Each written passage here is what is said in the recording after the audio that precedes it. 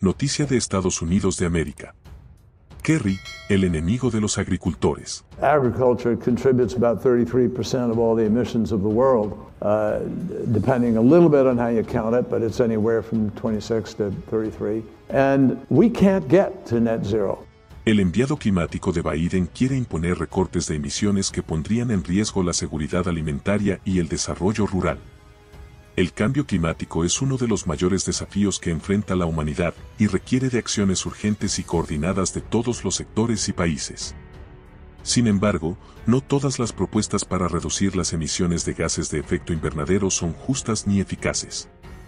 Algunas pueden tener consecuencias negativas para la economía, el medio ambiente y la sociedad, especialmente para los más vulnerables. Este es el caso de las declaraciones del enviado presidencial especial de Estados Unidos para el clima, John Kerry, quien en una cumbre sobre el cambio climático en mayo, exigió recortes de emisiones agrícolas como condición para alcanzar la meta de cero neto.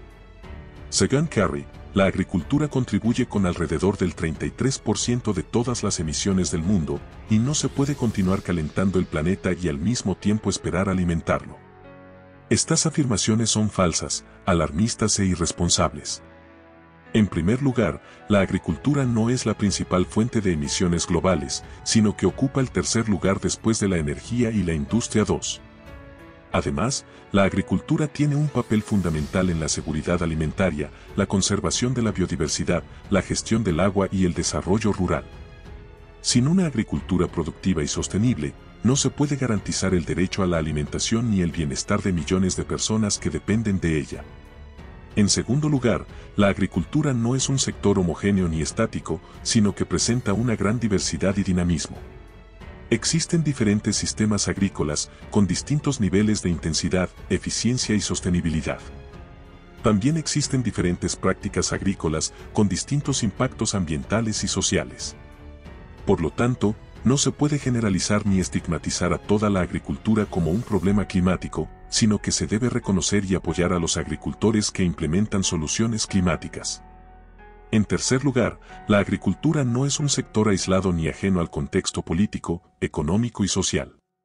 La forma en que se produce y consume la comida está determinada por múltiples factores que van más allá del campo. Por ejemplo, las políticas comerciales, fiscales y regulatorias, las cadenas de valor y los mercados, los hábitos y preferencias de los consumidores, las innovaciones tecnológicas y científicas, y las alianzas y movimientos sociales. Por lo tanto, no se puede imponer recortes de emisiones agrícolas sin tener en cuenta las implicaciones y consecuencias para todos los actores involucrados. La propuesta de Kerry es una amenaza para los agricultores estadounidenses y del mundo, especialmente para los pequeños productores familiares que representan el 80% de la población rural pobre. Estos agricultores ya enfrentan múltiples desafíos para adaptarse al cambio climático y mitigar sus efectos.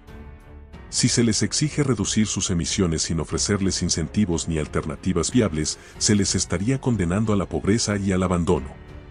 Los agricultores no son el enemigo del clima, sino parte de la solución. Por eso, se necesita una visión más integral e inclusiva del problema climático, que reconozca el valor y el potencial de la agricultura sostenible. Se necesita una transición justa y participativa hacia sistemas alimentarios resilientes y bajos en carbono. Se necesita una cooperación internacional basada en el respeto mutuo y la solidaridad. Y se necesita una voz más fuerte y representativa de los agricultores en la toma de decisiones. Kerry, el enviado climático de Biden, debería escuchar y aprender de los agricultores en lugar de atacarlos y despreciarlos. De lo contrario, estará poniendo en riesgo la seguridad alimentaria y el desarrollo rural de su propio país y del mundo. ¿Y tú dime qué opinas? Dios bendiga a los Estados Unidos de América.